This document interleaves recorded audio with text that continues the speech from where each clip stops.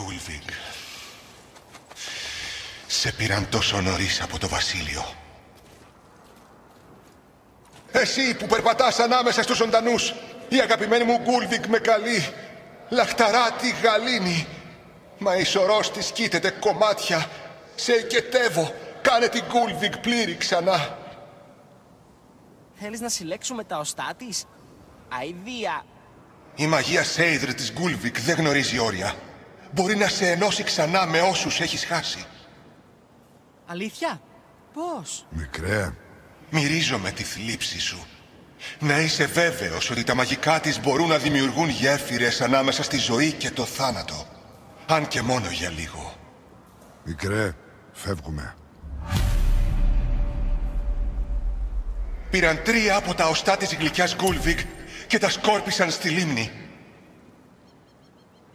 Φέρε μου τα οστά της, μικρέ. Η Γκούλβικ θα σε ανταμείψει.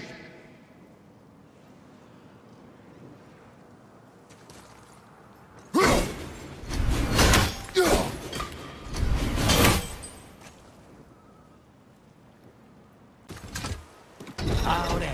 Το ειδικό καλέμι είναι μπροστά μετά από αυτή την πύλη. Εντάξει, πάμε!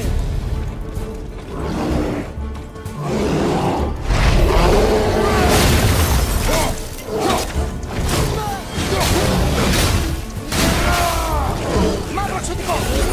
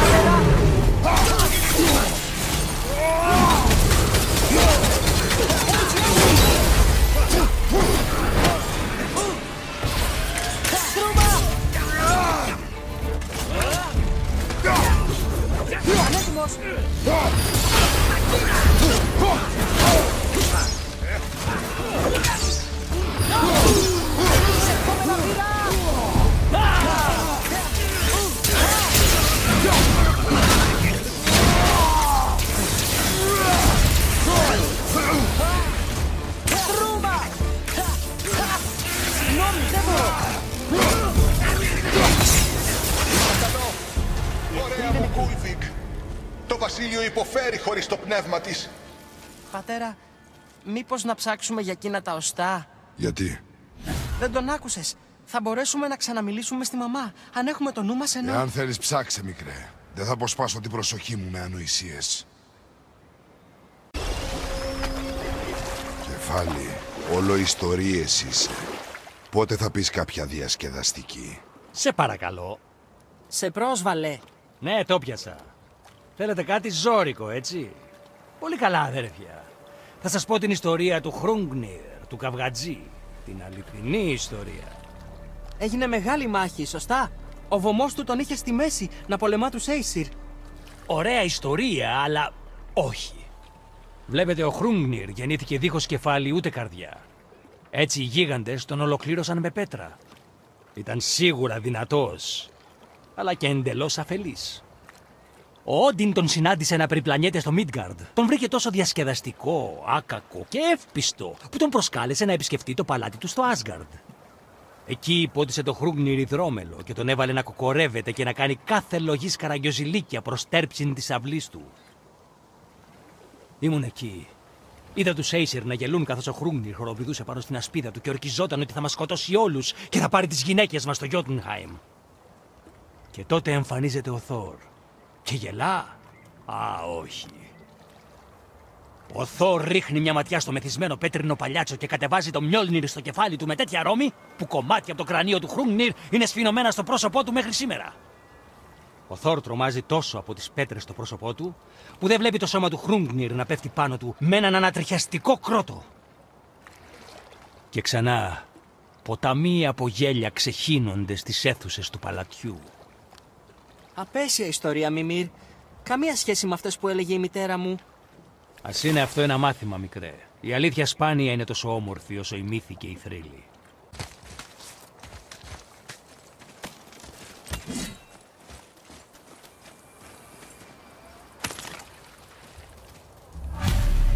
Αυτά τα οστά πάλλονται με μαγικά. Πρέπει να είναι η Γκούλβιγκ. Μήπως θα μπορούσαμε να το κρατήσουμε; Ίσως βρούμε και τα υπόλοιπα. Το πνεύμα σου λέει ψέματα, μικρέ. Πώς το ξέρεις; Έχω γνωρίσει πολλά πνεύματα. Είναι όλα τους ψεύτες. Αυτό είναι διαφορετικό. Το ξέρω. Ξέρεις πολύ λίγα.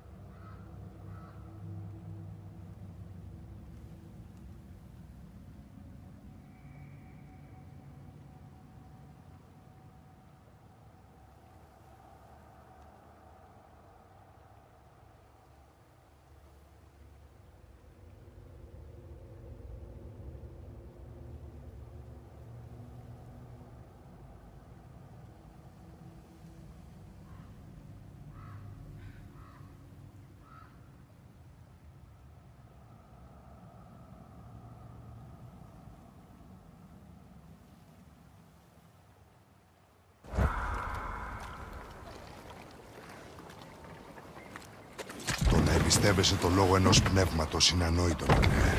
Μα αν υπάρχει έστω και μία πιθανότητα, δεν θες να ξαναδείς τη μαμά; Φυσικά και. Είναι νεκρή, Ατρέα. Πρέπει να το αποδεχτείς. Το έχω αποδεχτεί, αλλά θέλω να την ξαναδώ. Έστω και για μία φορά. Γιατί τον πιστεύεις; Δεν το ξέρεις ούτε ξέρεις ποιος ήταν. Όλα αυτά είναι κακόβουλα. Θέλει να ξαναδεί ένα αγαπημένο πρόσωπο. Εγώ καταλαβαίνω πώς αισθάνεται. Δεν υπάρχει κάτι κακόβουλο σε αυτό. Η ελπίδα θολώνει το ένστικτό σου, μικρέ.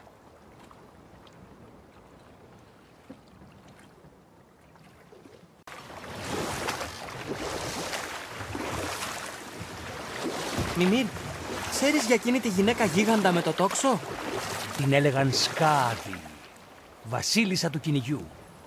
Ο πατέρας της ήταν ο Θιάτσι, που μπορούσε να πάρει τη μορφή κάθε άγριου πλάσματος και δίδαξε τη Σκάδη πώς να κυνηγά. Από τα πλευρά των ζώων της έφτιαξε δεύτερο ζευγάρι πόδια για να γλιστρά πάνω στο χιόνι και να μην της ξεφεύγει κανένα θύραμα. Κυνηγούσε με τόση τέχνη που κανένας θεός δεν συγκρινόταν μαζί της. Ο ίδιος ο Όντιν την ήθελε για γυναίκα του, πιστεύοντας ότι θα του χάριζε δυνατούς γιους.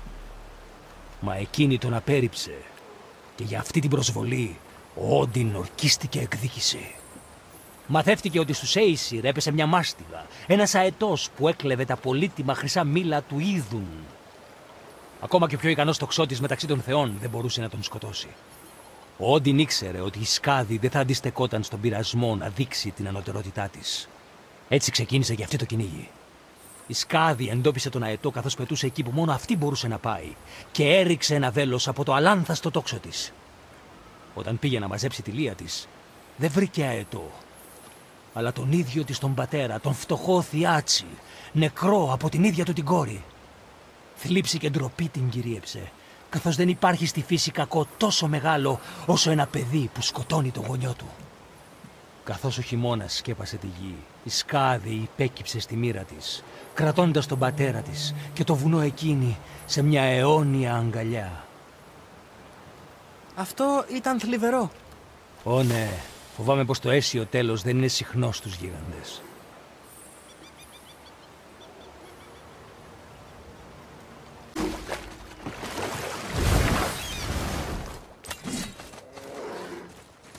Κρούμα!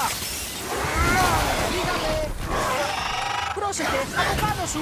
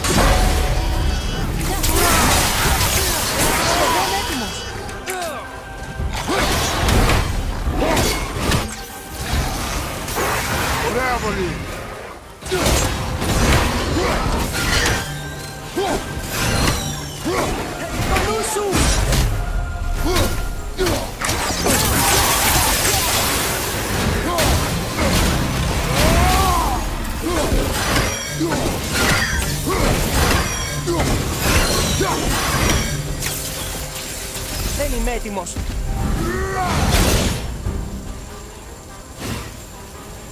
Proceder!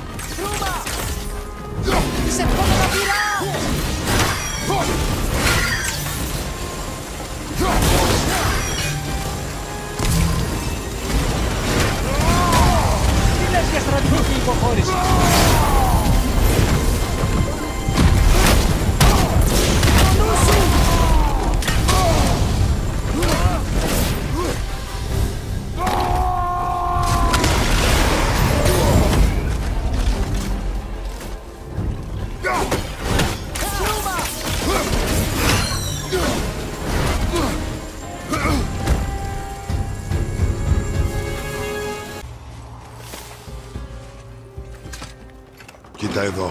Κι άλλο. Αυτός είναι ο Θρήμ, ένας παγωμένος γίγαντας βασιλιάς. Σωστά. Και πονηρός επίσης. Είναι το Μιόλνιρ. Έκλεψε το σφυρί του Θόρ. Ω ναι, για κάποιο καιρό. Πολλοί καταλήγουν να σκοτώνονται από το Θόρ. Για φαντάσου.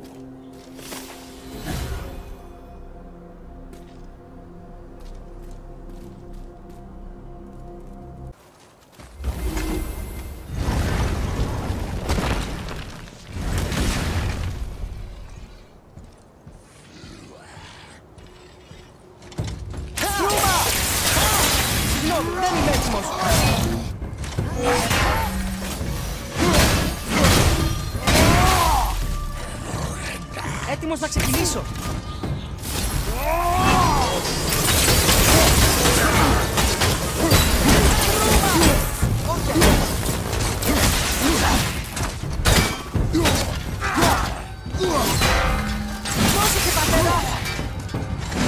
Η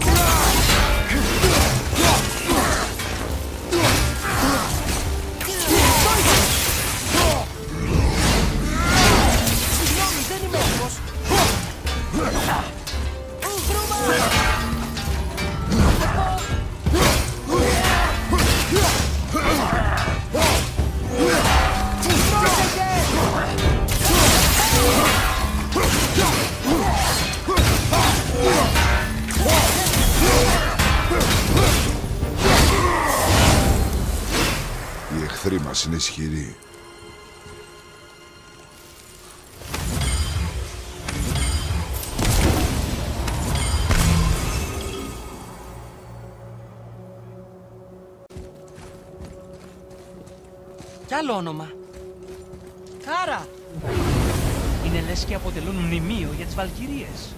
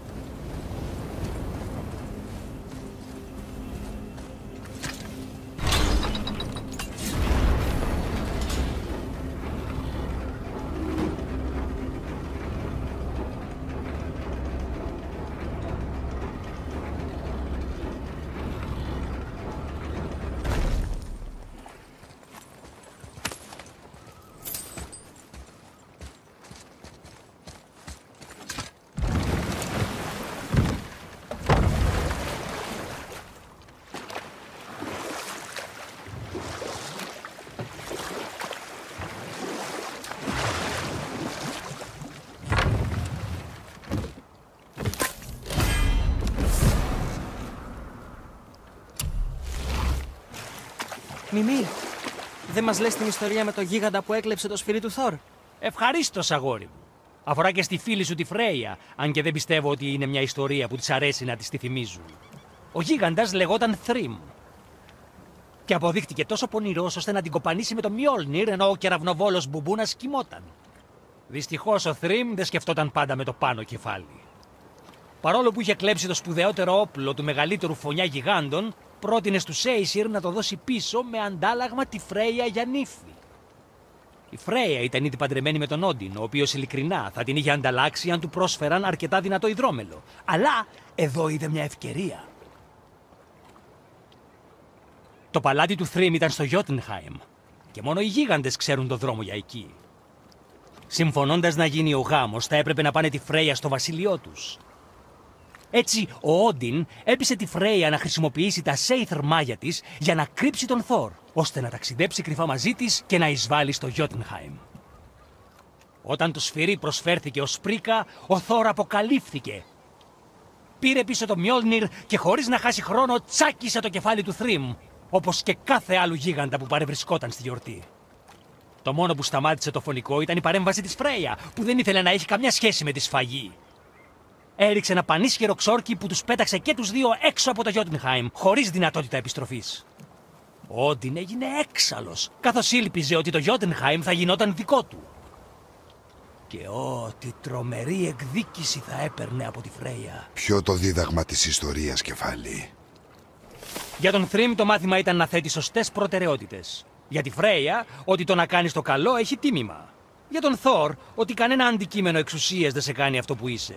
Και αν αυτό που είσαι είναι ο μεγαλύτερος μπάσταρδος σφαγέα στα εννέα βασίλεια, κανείς δεν μπορεί να σου το πάρει αυτό.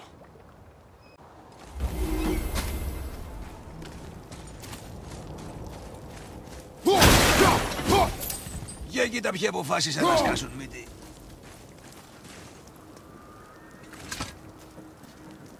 Μίλα στο δαχτυλίδι. Ε, τι; Δεν ακούω σκέψεις από δαχτυλίδια. Ακούω να μου μιλάει. Είναι ο Αντβάρη. Χα! Το ξέρα. Είπε ότι πήγε στα ορυχεία Βέλντερ για να δει το λάθος του. Και ο ψυχοφάγος επιτέθηκε. Και καθώς το ξέσκιζε, έβαλε την ψυχή του με ένα ξόρκι στο δαχτυλίδι.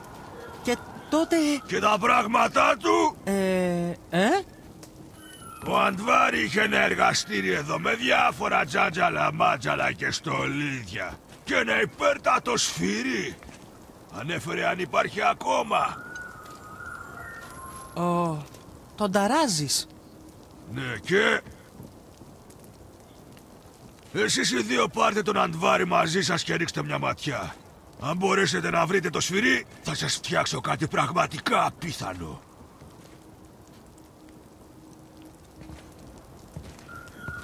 Λοιπόν, μην ξεχάσετε τη λίθο εισόδου.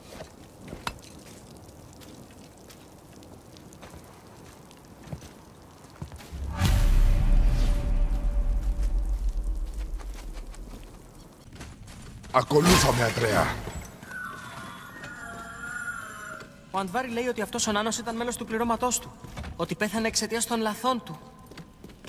Ακούγεται λυπημένος.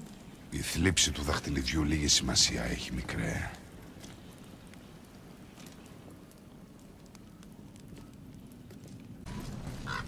Ένας ψυχοφάγος. Και ταξιδιώτης. Φυλάξου.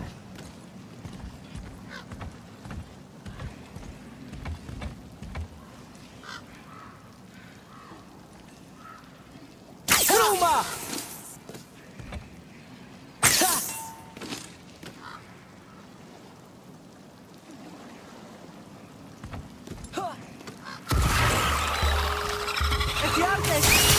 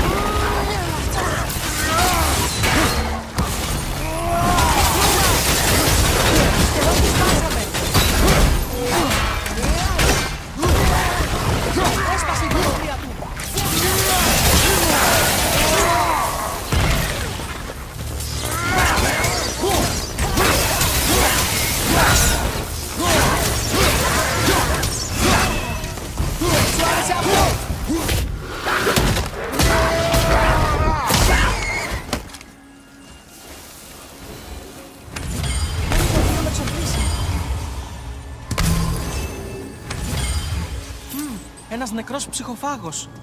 Τι δουλειά έχει εδώ ένας ψυχοφάγος; Τι εννοείς φταίω εγώ; Μικρέ, αγνόησέ τον. Μου είναι δύσκολο να τον αγνοήσω.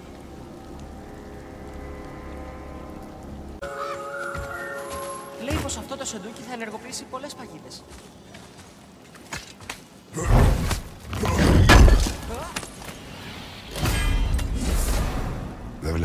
Βλέπω παγίδες.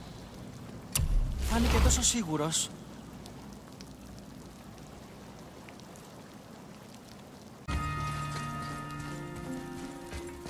Μικρέ, εδώ πέρα. Αμέσως! Ωραία. Σημείωση για το ημερολόγιο.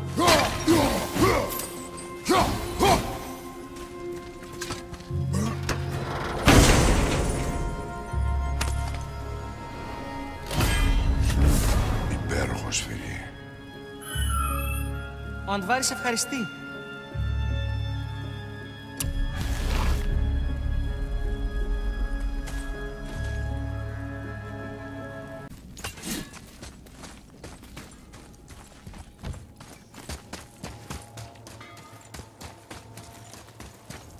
Βρήκατε το σφυρί εσύ; Να, το σφυρί του αλχημιστή. Το πνεύμα του είναι ενοχλητικό. Ο Αντβάρη ήταν μαλακοπίτουρας. Αλλά τρομερός αλχημιστής. Φέρτε τον μου και θα τον λιώσω. Τι; Θα λιώσεις το φίλο σου; Μια εχμάλωτη ψυχή είναι αυτό που χρειάζομαι για να σας δώσω κάτι της παραπάνω στην ανταμοιβή. Δεν το θες; Πατέρα, δεν μπορούμε να το κάνουμε αυτό. Ορίστε, κράτα τον. Είναι χρήσιμος, αλήθεια. Καλά, εφόσον αποδείξει την αξία του.